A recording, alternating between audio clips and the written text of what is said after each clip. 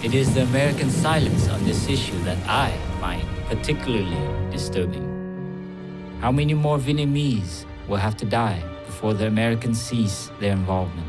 Venerable sir, I think you'd be hard pressed to find one among our delegation who doesn't desperately want the violence to end. Our hope is that by publishing our findings here, we can help to end the war. Gentlemen, the Buddhist position is not within any party. Everyone, you, the communists, the Viet Cong, all speak about peace, but victory and peace are not the same. To the Vietnamese people, you are the foreigners who have invaded Vietnam, and until you leave, it is inconceivable that the Vietnamese resistance, the violence, will cease. You have the initiative. I think you'll find that the American people are quite dedicated to the idea of peace with honor. Stopping the bombing and shooting the Vietnamese will not harm honor.